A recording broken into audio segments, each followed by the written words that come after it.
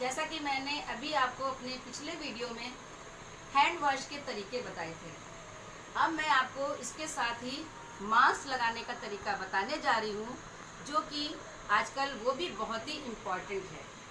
तो चलिए आइए हम बताते हैं मास्क लगाने का तरीका। मास्क तो बहुत लोग लगाते हैं, लेकिन उसका सही तरीका किसी की नोज़ खुली है, किसी का माउथ खुला है तो हमारे नोज़ और माउथ सब कवर होना चाहिए, जिससे कि बाहर के कीटाणु, वायरस जम्स हमारे अंदर ना घुस सकें। तो इसलिए हमको सही तरीके से मास्क लगाना चाहिए।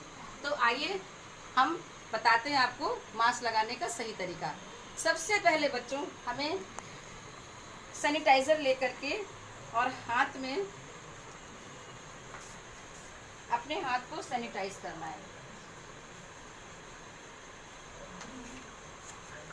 इसके बाद जो मास्क होगा, वो एक डब्बा होगा, जो कि सब तरफ़ से बंद होगा। उसमें आपको मास्क रखना है और फिर मास्क जैसा कि मेरे इस पन्नी के अंदर रखा हुआ है, मैंने मास्क को इसमें से निकाला और देखिए कैसे पहनते हैं।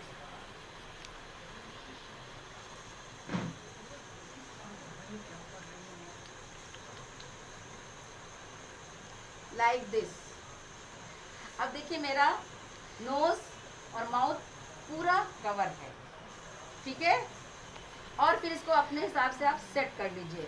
और लेकिन हमेशा इसका ध्यान रखें कि जो बीच का हिस्सा है नोज़ और माउथ वाला हिस्सा सेंटर का हिस्सा, इसको टच नहीं करना है।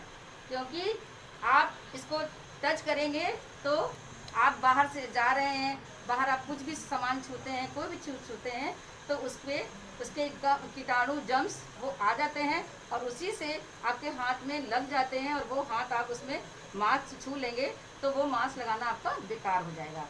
तो ये तो हो गया मास्क लगाना। अब आपको जब मास्क उतारना होता है तो आप देखिए कैसे उतारेंगे। बहुत बच्चे इस तरह से उतारते हैं, वो गलत है।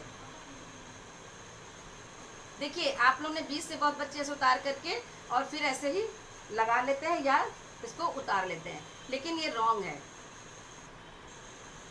बच्चों, अगर आपको मास्क उतारना है तो आपको कान की तरफ़ से मास्क ऐसे उतार करके और आपको फिर से वैसे ही पैक करके पन्नी में रख के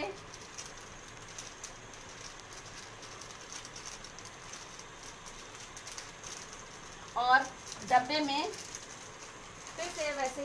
पैक करके रख देना है और ये भी देखना है कि डब्बा अच्छे से कोई भी बॉक्स ले सकते हैं, जो भी आपके घर में अवेलेबल हो तो उसको अच्छे से आपका वो बॉक्स बंद हो कवर हो, जिसमें कि बाहर से उसे कोई भी जम्स कीटाणु उसके अंदर घुस न सके। तो ये हो गया आपका मास्क लगाने का और उतारने का तरीका। इसके बाद भी आपको या तो हैंड वॉश करना है अच्छे से, साबुन से कोई भी साबुन हो, या फिर आपको फिर से ही आपको सैनिटाइज़र लेना है और अपने हाथ में ऐसे लेकर के और अच्छे से रब करके उसको लगाना है अच्छे से दोनों तरफ़ करके फिर आप अपने घर में आराम से रहिए। ठीक है दोस्तों? बच्चों आपको ये सब अच्छा लगा होगा शायद वीडियो तो इसके लिए फिर मैं आपको और वीडियो बना बना के भेजूँगी और थैंक यू नमस्कार।